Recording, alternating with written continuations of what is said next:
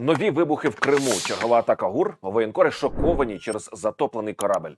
Кремль не коментує. Далі у випуску ви дізнаєтесь про все в подробицях. Ви на фабриці новин. Моє ім'я Юрій Бівік.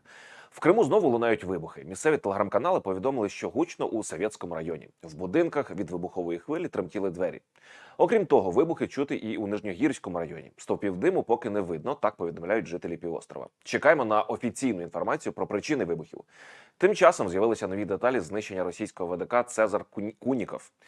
Корабель окупантів пішов на дно за дві години. Російські телеграм-канали повідомляють, що першим на лінію 112 зателефонував місцевий житель. Він побачив судно, що палало. Також згодом про інцидент повідомив член екіпажу Цезаря. Паралельно за атакою на судно спостерігав один із начальників місцевого відділу поліції, який відпочивав на березі у Понизівці. Це неподалік Ялти. Так, от за його словами, евакуаційні катери прибули на місце, коли Цезар Куніков вже затонув. Натомість екіпаж ВДК рятувався на вантажному кораблі, який проходив неподалік. Далі послухаємо. Полиловка. Я один из первых там был. У нас сообщение сирена и этот самый. И, ну, отстреливались, я так понял. Потом хлопок. И все. А остальное все только работало. С шести, э, десяти до где-то до...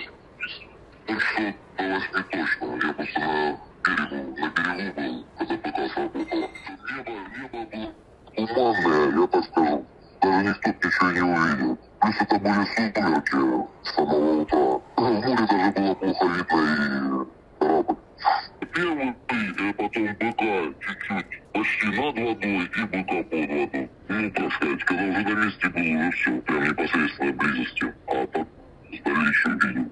Ну, там корабль не находился грузовой, который приймав на себе. Біда у тому, що весь світ буде сміятися. Такими словами, російські пропагандисти описують втрату ще одного свого десантного корабля неподалік Криму.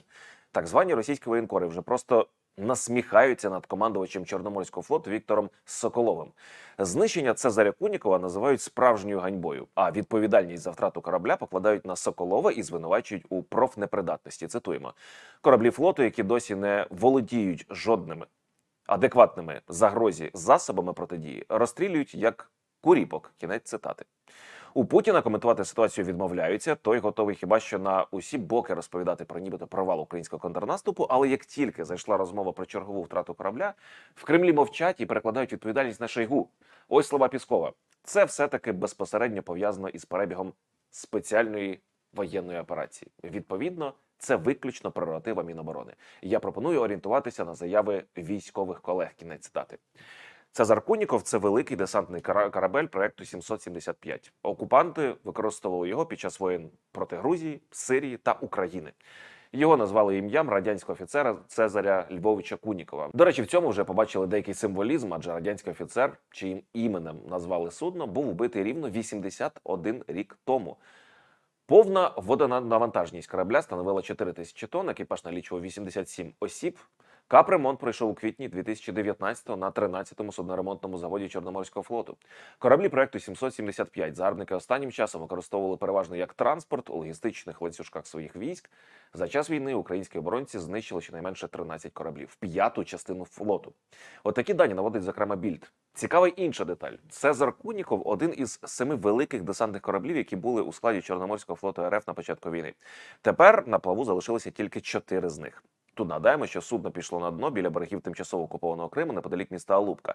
В ніч на середу його атакували морські дрони Магура V5. Корабель отримав критичні пробоїни по лівому борту і затонув. В українській розвідці визнали, що разом із силами оборони стоять за атакою на Цезар Куніков. Успішну місію здійснили спецпризначенці групи 13 гур. Згадані дрони Магура V5 – це українська розробка. Вони можуть виконувати цілу низку завдань: спостереження, розвідка, патрулювання, пошуково-рятувальні роботи, протимінна боротьба, охорона морського флоту та бойові місії. Вартість одного такого комплексу 10 мільйонів гривень. Дрон здатний долати відстань у 800 кілометрів і нести на собі більше 300 кілограм вибухівки. Щоб у майбутньому завдавати окупантам ще більшої кількості втрат, потрібно постійно допомагати нашим військовим. Цим, зокрема, займається великий бізнес. Тисячу бронежилетів для Нацгвардії України передала група СКМ в межах мілітарної ініціативи Сталевий фронт Ріната Ахметова. Амуніцію отримав полтавський підрозділ, який стоїть на Донецькому напрямку. Технологію виробництва сталі для виготовлення пластин фахівці групи СКМ налагодили ще навесні 2022-го. Спеціалістам вдалося суттєво зменшити вагу та товщину амуніції при збереженні необхідного четвертого класу захисту. Всі бронежилети пройшли перевірку на міцність як перед відправкою на фронт, так і в бойових умовах. Військовослужбовці неодноразово надавали свої позитивні відгуки. Передавав амуніцію військовим представник одного із підприємств групи СКМ Іван Ковалевський. Давайте послухаємо. Е, продовжує підтримувати наших військових. Вже більше ніж 150 тисяч бронежилетів були передані е, для захисту наших військових, медиків та людей, які пов'язані з е, допомогою на фронті, для того, щоб забезпечити та зберегти життя українців. Друзі, наразі це всі новини. Більше в наступних випусках Фабрика новин. Тож підписуйтесь на канал. Я вам дякую за увагу і до зустрічі.